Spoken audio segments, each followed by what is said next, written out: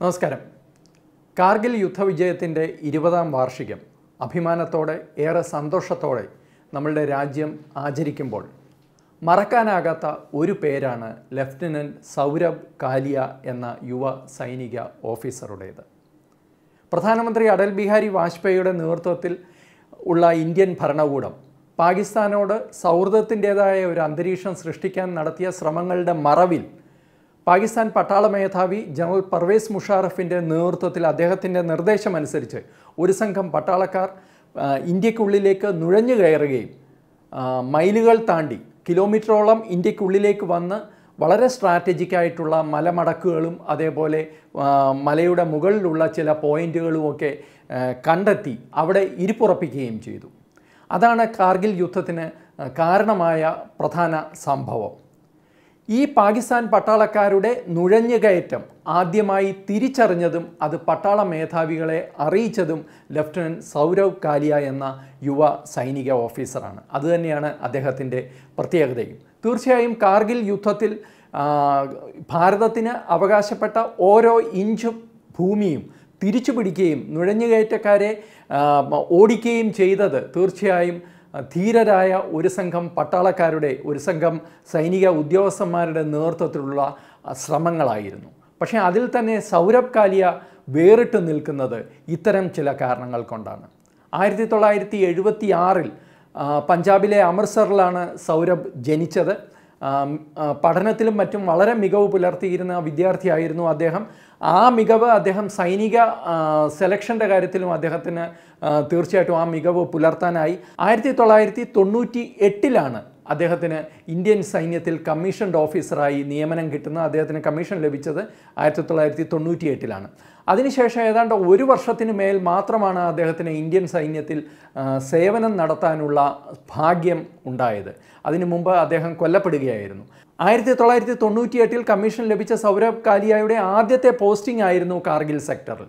Four Jat റെജിമെന്റിന്റെ ഭാഗമായി അദ്ദേഹം കക്സർ മേഖലയിൽ ആണ് സൈനിക സേവനത്തിന് ആയിരത്തി തൊള്ളായിരത്തി തൊണ്ണൂറ്റി ഒമ്പതിൽ എത്തുന്നത്. അദ്ദേഹത്തിന്റെ മേഖലയിൽ പാക് നുഴഞ്ഞുകയറ്റക്കാരുടെ സാന്നിധ്യമുണ്ട് എന്നറിഞ്ഞ ലഫ്റ്റനന്റ് സൗരഭ് കാലിയ അത് സംബന്ധിച്ച വിവരം പട്ടാള മേധാവികളെ അറിയിച്ച ശേഷം അദ്ദേഹം കൂടുതൽ വിവരങ്ങൾക്ക് വേണ്ടി കൂടുതൽ നിരീക്ഷണത്തിന് വേണ്ടിയാണ് അഞ്ച് പട്ടാളക്കാരോടൊപ്പം ഒരു പെട്രോൾ പാർട്ടിക്ക് നേതൃത്വം നൽകിക്കൊണ്ട് ഭജറങ് പോസ്റ്റ് ലക്ഷ്യമാക്കി പോയത്. മെയ് പതിനഞ്ച് ആയിരത്തി തൊള്ളായിരത്തി തൊണ്ണൂറ്റി ഒമ്പതിലായിരുന്നു ഈ സംഭവം. ഏതാനും മണിക്കൂറുകൾക്കുള്ളിൽ തന്നെ അദ്ദേഹത്തിന് നേരെ പാക് നുഴഞ്ഞുകയറ്റക്കാരുടെ വെടിവെപ്പുണ്ടായി. തിരിച്ച് അദ്ദേഹവും സൈന്യവും ചെറുത്തു നിൽക്കുകയും വെടിവെക്കുകയും ചെയ്തുവെങ്കിലും ഒരു പെട്രോൾ പാർട്ടിയുടെ കയ്യിൽ വളരെ പരിമിതമായ വെടിക്കോപ്പുകളും മറ്റ് ആയുധങ്ങളുമേ ഉണ്ടാകാറുള്ളൂ. അത് വളരെ പെട്ടെന്ന് തീരുകയും ഇവർ നിരായുധരാണ് എന്ന് കണ്ട പാകിസ്ഥാൻ റേഞ്ചേഴ്സിന്റെ പട്ടാള സംഘം ഇവരെ വളയുകയും ചെയ്തു. ഇവരെ കസ്റ്റഡിയിൽ എടുക്കുകയും ചെയ്തു. ഇവർ പെട്രോൾ പാർട്ടി അപ്രത്യക്ഷമായതനുസ അറിഞ്ഞ് അവരെ അവരെ തിരഞ്ഞു പോയ ഇന്ത്യൻ പട്ടാളത്തിന്റെ മറ്റ് ഗ്രൂപ്പുകൾക്കൊന്നും തന്നെ സൗരഭ് കാലിയായോ അദ്ദേഹത്തിന്റെ മറ്റ് സംഘാംഗങ്ങളെക്കുറിച്ച് യാതൊരു തുമ്പും ലഭിച്ചില്ല. പിന്നീട് പാകിസ്ഥാൻ റേഡിയോയിലൂടെ വന്ന ഒരു സന്ദേശത്തിലാണ് പാകിസ്ഥാൻ റേഞ്ചേഴ്സിന്റെ കസ്റ്റഡിയിലാണ് സൗരഭ് കാലിയായും സംഘവും എന്ന് മ- മ- ലോകം അറിയുന്നത് ഇന്ത്യൻ ഭരണകൂടം അറിയുന്നത്. ഇന്ത്യൻ പട്ടാളവും ഇന്ത്യൻ ഭരണകൂടവും സൗരവ് കാലിയയുടെയും സഹപ്രവർത്തകരുടെയും മോചനത്തിനായി അന്നുതൊട്ട് ശ്രമിച്ചുവെങ്കിലും യാതൊന്നും അന്നത്തെ ഒരു പ്രത്യേക അന്തരീക്ഷത്തിൽ പാകിസ്ഥാന്റെ ഭാഗത്തുനിന്ന് മറുപടിയൊന്നും ഉണ്ടായില്ല. ഏതാണ്ട് ഇരുപത്തിരണ്ട് ദിവസങ്ങളോളമാണ് സൗരവ് കാലിയായും മറ്റ് അഞ്ച് പട്ടാളക്കാരും പാകിസ്ഥാന്റെ തടവിൽ പാകിസ്ഥാന്റെ കസ്റ്റഡിയിൽ കഴിഞ്ഞത്. ജൂൺ ഒമ്പതാം ഒൻപതാം തീയതിയാണ് അദ്ദേഹത്തിന്റെയും സഹപ്രവർത്തകരുടെയും മൃതദേഹങ്ങൾ പാകിസ്ഥാൻ റേഞ്ചേഴ്സ് ഇന്ത്യൻ പട്ടാളത്തിന് മടങ്ങി മടക്കി കൊടുക്കുന്നത്. സൗരവ് കാലിയയുടെയും സഹപ്രവർത്തകരുടെയും ശവശരീരങ്ങൾ കണ്ട ഇന്ത്യൻ സൈനിക ഉദ്യോഗസ്ഥരും അവരുടെ ശവശരീരങ്ങൾ പോസ്റ്റ്മോർട്ടം ചെയ്ത ഇന്ത്യൻ സൈന്യത്തിലെ ഡോക്ടർമാരും അക്ഷരാർത്ഥത്തിൽ ഞെട്ടിപ്പോയി. രക്തം മരവിപ്പിക്കുന്ന ക്രൂരതയായിരുന്നു ഈ പട്ടാളക്കാരുടെ മേൽ പാകിസ്ഥാൻ സൈന്യം നടത്തിയത്. ഏതാണ്ട് തലയോട്ടി മുതൽ പാദം വരെ മുറിവുകൾ ഉണ്ടായിരുന്നു. എന്ന് മാത്രമല്ല ശരീരത്തെല്ലാം സിഗരറ്റ് കൊണ്ട് പൊള്ളിച്ച പാടുകൾ ഉണ്ടായിരുന്നു. കണ്ണുകൾ ചൂഴ്ന്നെടുത്തിരുന്നു. ചെവികൾക്കുള്ളിൽ ഇരുമ്പ് കൊണ്ട് ചുട്ടുപഴിപ്പിച്ച ഇരുമ്പ് കയറ്റി കർണപുടങ്ങൾ തകർത്തിരുന്നു. നെഞ്ചും കൂട് തകർത്തിരുന്നു. മിക്കവാറും എല്ലാ എല്ലുകളും ഒടിഞ്ഞിരുന്നു. എല്ലാ സൈനികരുടെയും പല്ലുകൾ പല്ലുകൾ കൊഴിഞ്ഞു പോയിരുന്നു. ശരീരത്തിലെ നഖങ്ങൾ ഉണ്ടായിരുന്നില്ല.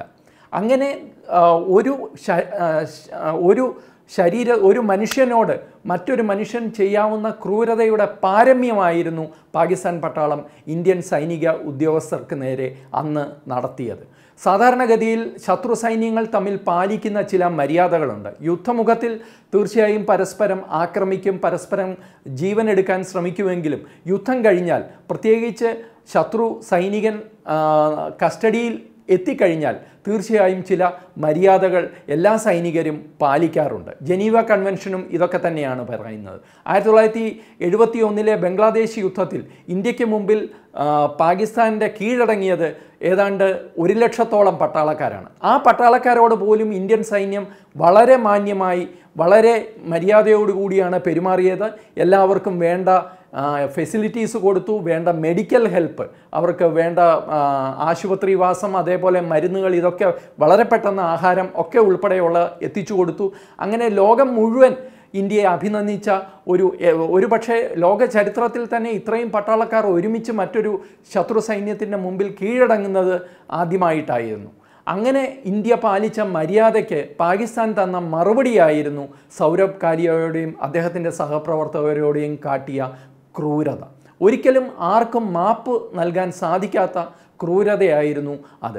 ആ ശരീരം അതിലെ ഏറ്റവും ഞെട്ടിപ്പിക്കുന്ന വിവരം എന്താണെന്ന് വെച്ച് കഴിഞ്ഞാൽ പോസ്റ്റ്മോർട്ടം ചെയ്ത ഉദ്യോഗസ്ഥന്മാർ പോസ്റ്റ്മോർട്ടം റിപ്പോർട്ടിൽ പറഞ്ഞ അടിവരയിട്ട് പറഞ്ഞ ഒരു കാര്യം ഇവരുടെ ദേഹത്തുണ്ടായ ഈ പരിക്കുകളെല്ലാം തന്നെ ഇവർ മരിക്കുന്നതിന് മുമ്പ് ഉണ്ടായതാണ്. അല്ലാതെ ശവശരീരത്തിൽ ഏൽപ്പിച്ച പരിക്കുകൾ അല്ല എന്നുള്ളതാണ്. അതുതന്നെയാണ് ഈ ക്രൂരതയുടെ മുഖം വെളിവാക്കുന്ന മറ്റൊരു പ്രധാനപ്പെട്ട തെളിവ്. പതിവ് പോലെ പാകിസ്ഥാൻ ഇത്തരം കാര്യങ്ങൾ ഏൽക്കാൻ തയ്യാറായില്ല. സൗരഭ്കാരിയായും കൂട്ടരും കൊല്ലപ്പെട്ടത് വളരെ മോശം കാലാവസ്ഥ കൊണ്ടാണ് എന്നൊക്കെയായിരുന്നു പാകിസ്ഥാൻ പറയാൻ ശ്രമിച്ചത്. അതിനപ്പുറം ഒരു വിശദീകരണം പാകിസ്ഥാന്റെ ഭാഗത്തു നിന്ന് ഉണ്ടായുമില്ല. ഒരു യുവ സൈനിക ഓഫീസറുടെ നേരെയും അദ്ദേഹത്തിന്റെ സഹപ്രവർത്തകരുടെ നേരെയും ഒരു പട്ടാളം നടത്തിയ ക്രൂരത അന്താരാഷ്ട്ര തലത്തിലും ദേശീയ തലത്തിലുമൊക്കെ വിമർശിക്കപ്പെട്ടുവെങ്കിലും അതിനപ്പുറം കാര്യമായ നടപടികൾ ഒന്നും ഉണ്ടായില്ല. കാർഗിൽ യുദ്ധത്തിന് ശേഷം ഇരുപത് വർഷങ്ങൾ കഴിഞ്ഞു പോയിരിക്കുന്നു. ഇന്നും സൗരഭ് കാലിയായുടെ പിതാവ് ഡോക്ടർ എൻ എൻ കാലിയായും അദ്ദേഹത്തിന്റെ അടുത്ത ബന്ധുക്കളും പോരാട്ടം തുടരുകയാണ്. ഡോക്ടർ കാലിയായുടെ സൗരഭിന്റെ പിതാവിന്റെ ആവശ്യം വളരെ സിമ്പിളാണ്. വളരെ നിസ്സാരമെന്ന് ഒറ്റയടിക്ക് തോന്നുന്നെങ്കിലും പക്ഷേ വളരെ ശക്തവുമാണ്. അദ്ദേഹം ആവശ്യപ്പെടുന്നത് പാകിസ്ഥാന്റെ ഭാഗത്തു നിന്നുള്ള ഒരു ക്ഷമാപണമാണ്. തന്റെ മകനോട് പാകിസ്ഥാൻ പട്ടാളം നടത്തിയ കൊടും ക്രൂരതയ്ക്ക് പാകിസ്ഥാൻ സർക്കാർ ക്ഷമ ചോദിക്കണം എന്നുള്ളതാണ് അദ്ദേഹത്തിന്റെ ആവശ്യം. ഈ ആവശ്യവുമായി അദ്ദേഹം ഇന്ത്യൻ ഭരണകൂടത്തെയും അതേപോലെ അന്താരാഷ്ട്ര വേദികളെയും ഒക്കെ സമീപിച്ചിട്ടുണ്ട്.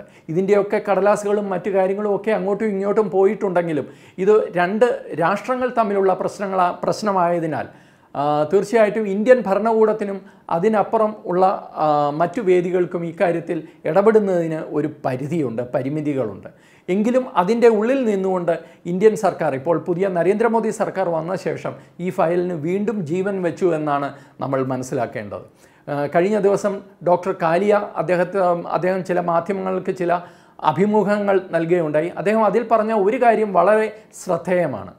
അഭിനന്ദൻ വർത്തമാനിന്റെ കാലത്ത് ഇന്ത്യൻ ഭരണകൂടം പ്രക പ്രകടിപ്പിച്ച ഇച്ഛാശക്തി അന്നുണ്ടായിരുന്നെങ്കിൽ ഒരു പക്ഷേ എന്റെ മകന്റെ കാര്യത്തിൽ ഇതിനോടകം ഒരു പരിഹാരം ആകുമായിരുന്നു എന്നാണ് അദ്ദേഹം പറഞ്ഞത്. അദ്ദേഹം പറഞ്ഞ ആ വാക്കുകളിൽ എല്ലാമുണ്ട്. കാർഗിൽ യുദ്ധവിജയത്തിന്റെ ഇരുപതാം വാർഷികം ആഘോഷിക്കുന്ന ഈ അവസരത്തിൽ ഡോക്ടർ എൻ എൻ കാലിയ നടത്തുന്ന ഈ പോരാട്ടത്തിന്റെ വിജയം തന്നെയാണ് വീരസ്വർഗം പ്രാപിച്ച സൗരഭ് കാലിയായുടെയും അദ്ദേഹത്തിന്റെ അഞ്ച് സഹപ്രവർത്തകരുടെയും ആത്മാക്കൾക്ക് സമർപ്പിക്കാവുന്ന ഏറ്റവും വലിയ ആദരവ്.